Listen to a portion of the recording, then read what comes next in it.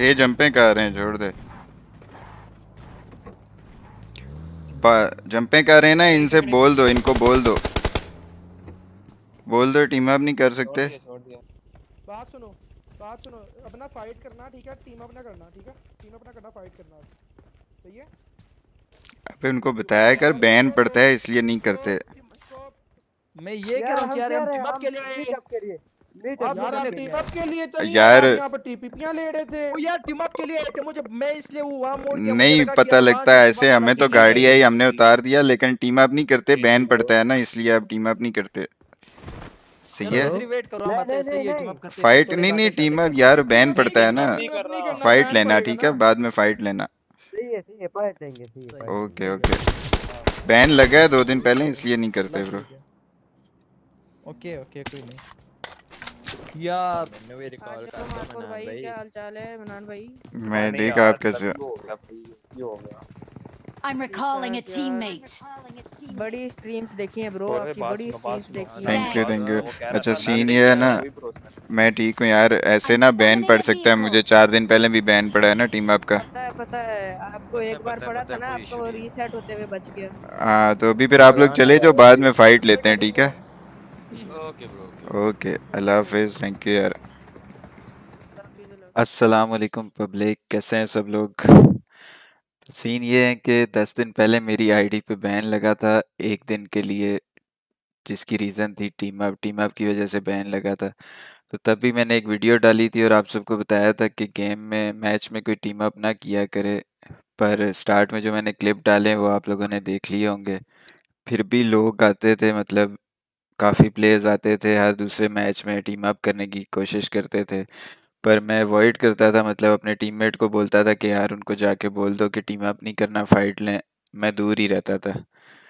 जितना हो सकता था अवॉइड करता था मैं और कई दफ़ा मार भी देता था। कल जब मैंने आईडी ओपन की तो ये देखने को मिला अगेन बैन और वही सेम रीज़न टीम अप की। पर इस दफ़ा सात दिन का बैन लग गया।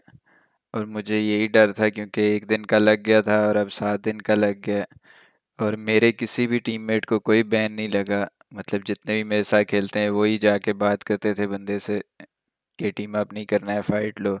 पर किसी को भी कोई बैन नहीं लगा, सिर्फ़ मेरी आईडी पे बैन लगा और उसकी रीज़न मैं बताता हूँ क्यों सिर्फ़ मुझे ही बैन लग रहा है। ये आप पहले ये कमेंट देखो जो मुझे कल आया था। ये बंदे ने मुझे कमेंट किया कि भाई मुझे टेक्स्ट आया था पबजी में कि आपको सेवन डेज़ के लिए बैन किया गया है। भाई, समझ नहीं आ रहा मुझे। फिर उसने कहा, मुझे मेल आया था, आपको बैन किया गया। अब किसी के बैन का, किसी के बैन का मेल आपको तब आता है जब आपने उसको रिपोर्ट मारा हो। ठीक है? तो उस बंदे ने मुझे रिपोर्ट किया था तो इसलिए उसको नोटिफिकेशन गया है मेल में कि जिसको आपने रिपोर्ट किया था, उसको सात दिन का बैन पड़ गया। मुझे समझ नहीं आती कि बिला वजह लोग क्यों रिपोर्ट्स मारते हैं। मेरी समझ से बाहर है ये बात। मेरी आईडी पे डेली विजिटर्स आलमोस्ट दस से पंद्रह हज़ार होते हैं डेली डेली दस से पंद्रह हज़ार बंदे मेरी आईडी विज़िट करते हैं और इनमें से पता नहीं डेली कितने हज़ार लोग रिपोर्ट मारते हैं बिला वजह। और मैसिव रिपोर्ट्स की वजह से मेरी आईडी अंडर ऑब्जर्वेशन रहती है और पबजी का सिस्टम कुछ भी डिटेक्ट करके ना बैन दे देता है। और मेरे किसी भी टीममेट को कोई बैन नहीं लगा, जबकि बात भी वही जाके करते थे बंदे से। तो टीम अप का बैन तो उनको लगना चाहिए ना, पर बैन सिर्फ़ मुझे लग रहा है, किसी और को नहीं लगा। एक दिन का बैन भी लगा, अब सात दिन का भी लग गया, अब इसके बाद पता नहीं कितने दिन का लगेगा, कितने साल का लगेगा, मुझे नहीं पता।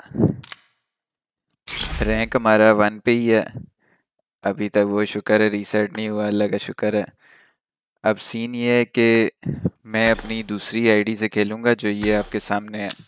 और जब मेरी आईडी अनबैन होगी तो मैं उसके बाद भी उससे नहीं खेलूँगा, उसको थोड़ा रेस्ट दूँगा। क्योंकि ये जो इतनी ज़्यादा रिपोर्ट्स पढ़ रही हैं, अभी तक ना रैंक वन पे आईडी इसलिए ज़्यादा रिपोर्ट्स पढ़ रही हैं। तो वो शायद थोड़ा रेस्ट देने के बाद ये रिपोर्ट्स का असर ख़त्म हो तो उसके बाद फिर हम खेलेंगे अपनी आईडी से। तब तक मैं इस वाली आईडी से खेलूँगा। नेक्स्ट सीज़न हम इसी आईडी से खेलेंगे, ये जो भी लॉगिन है। और देखेंगे, उसको एक सीज़न रेस्ट देते हैं आईडी को। बाकी मुझे ये नहीं समझ आती कि बिला वजह रिपोर्ट्स क्यों मारते हैं। अगर अगर आपको नहीं अच्छा लगता कि कोई पाकिस्तानी सर्वर टॉप करके बैठा हो तो आप रैंकी ना देखा करो। बाकी लाइक सब्सक्राइब कर देना गाइस इंशाल्लाह लाइव स्ट्रीम पे मिलते हैं सेकंड आईडी से। दुआओं में याद रखना। अल्लाह हाफिज़।